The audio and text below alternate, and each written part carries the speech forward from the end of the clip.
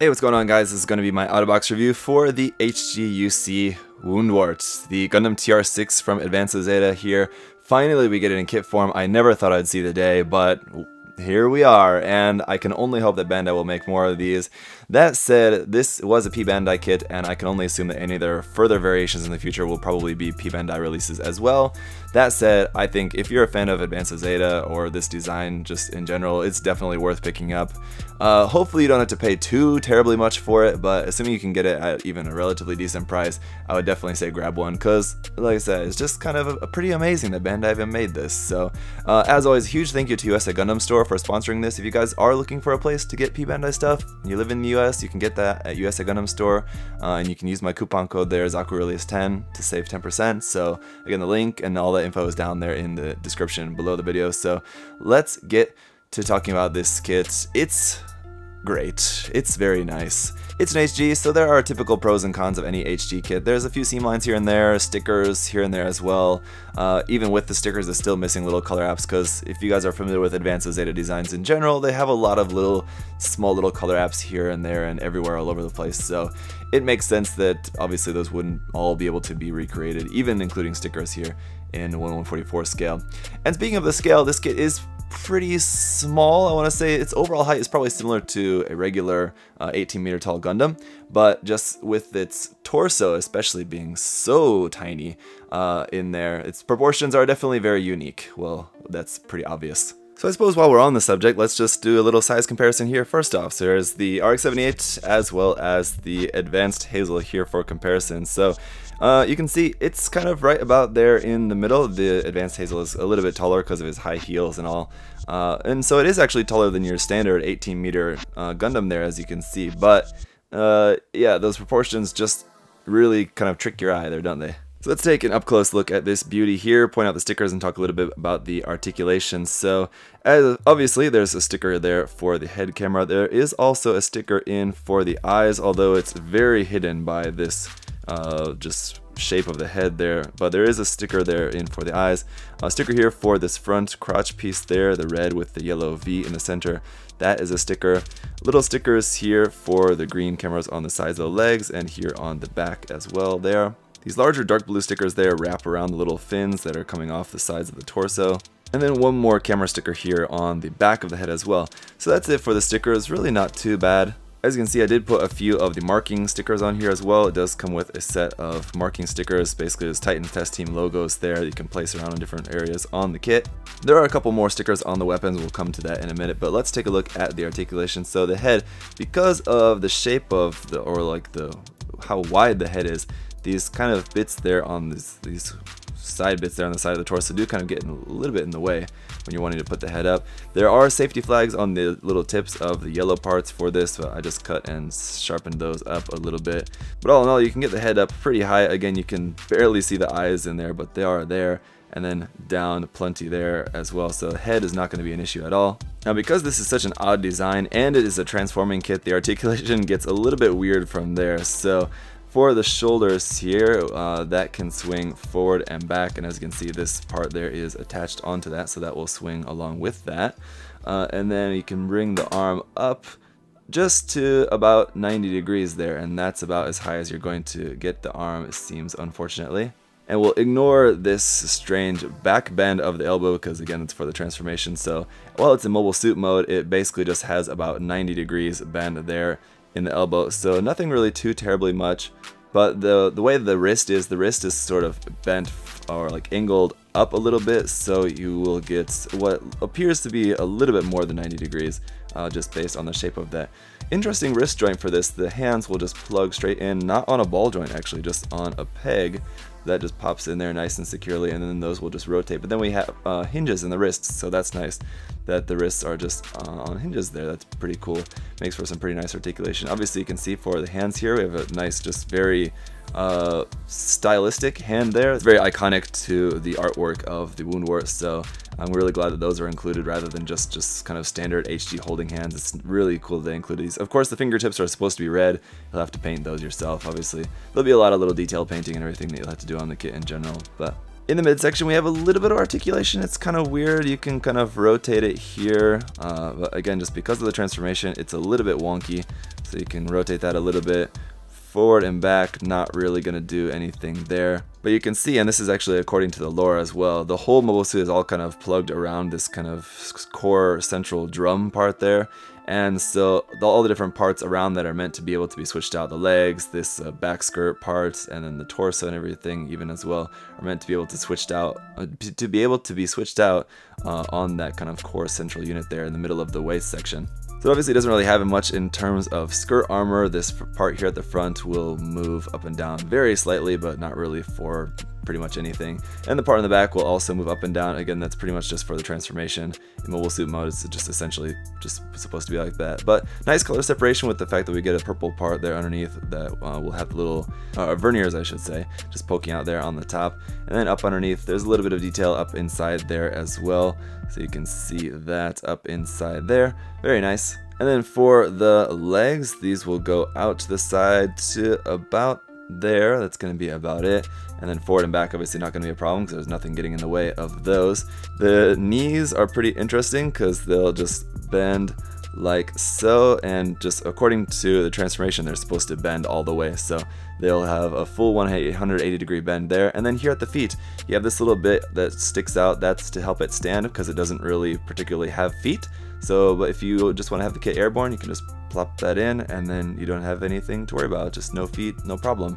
There you go. Or if you do want to have it standing without the base just pop that out and then it can stand perfectly fine as you saw before. So that's pretty nice. Uh, pretty much the only real seam line on this kit is going to be here on the front of this kind of lower leg part just straight down the center of that. There's a big long seam. That's really going to kind of be the only one you're going to have to worry too much about but that is there and even with the no feet and huge thighs and huge back skirt sticking out the back there, it's relatively easy to just get it standing up there. It's not really a problem at all.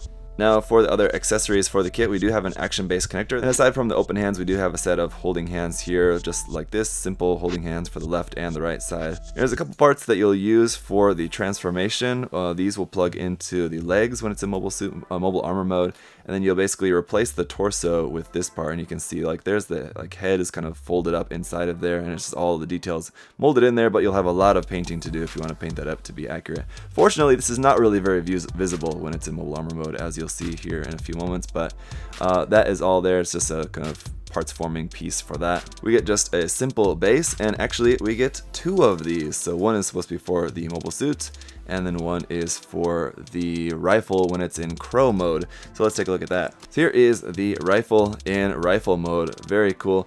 For this very long part here sticking out the front, we've got two stickers that will make up the kind of dark purple part here for the edges on the top and bottom of that. And then there's a little green camera sticker for that one there as well. But this is just such a cool weapon. I just really like this a lot. It's really interesting, so unique and cool and very long. As you can see, it's much longer than the actual Gundam itself when it's at full length. So it's going to be pretty big. Now, is it going to actually be able to hold it very well is the problem. So you basically just pop the hand around the handle there and then kind of do your best to balance it and hold that up in a convincing way.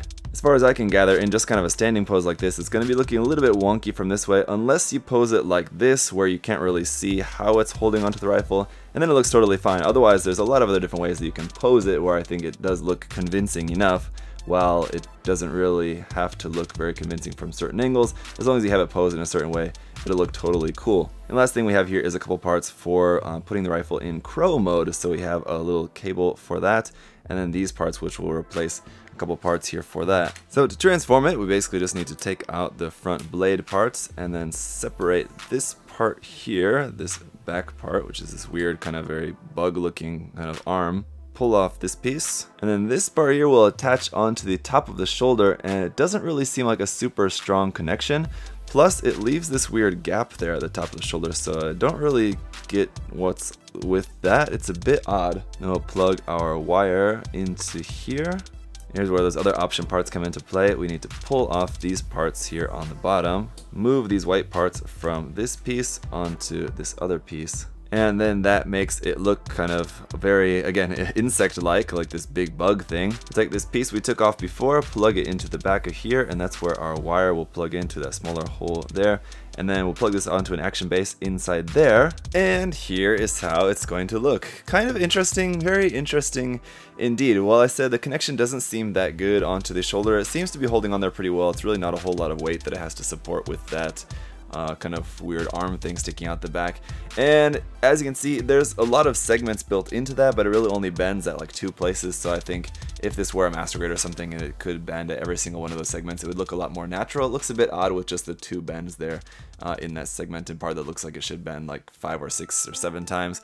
Um, and then the wire is a, a little bit short, really. I think if you could replace that with your own, if you can find one of the same gauge and everything, that will work for you uh, I would recommend probably getting a long one. Depends on what you want to do with it. You just really can't get the the rifle there out too far away from the mobile suit with that very short wire. Uh, also, I haven't used the stand that were included. You can use it, but just for the fact that I'm having this on my rotating base here, uh, it just was easier for me to put these both onto the same stand using just the Action Base 5. But uh, again, you have the two separate stands that you can use for uh, having this posed up in this such way. But that said, it is very convincing, and again, it's it can look a bit odd. It all depends on your posing. I think you're just gonna have to be careful with how you pose the kit. Uh, if it's posed up in the right way and you kind of have everything looking uh, the right way, it looks fantastic. Even such things as having a short wire and having the segmenting of the part there attached onto the top of the shoulder being a little bit odd. All that stuff is pretty easy to ignore when you have this posed up in a really cool pose. It's just so striking and different and unique, and it's great. I like it. And when it's transformed, here is how it's going to look in mobile armor mode. Very strange, and yeah, I don't really need to show you the transformation all step by step on camera, but it's really not all that complicated. If you are wanting to get the kit and you're worried about the transformation process, just follow the instructions. It's not difficult at all. Uh, you're just folding some stuff around and pulling some stuff off, reattaching some stuff. So you can see the, the transformation part, the parts forming part that replaces the torso is up inside here. So the uh, collapsed head is kind of there underneath this kind of main dome part, which was the back skirt, which is now the front. The front skirt part, kind of dong part, is still sticking out the front there. The legs are folded up, and here those fin parts we added onto the legs as well, sticking out. Uh, action base connector here attached onto the back, just so the action base will, uh, uh, the connector needs to go straight into the back there.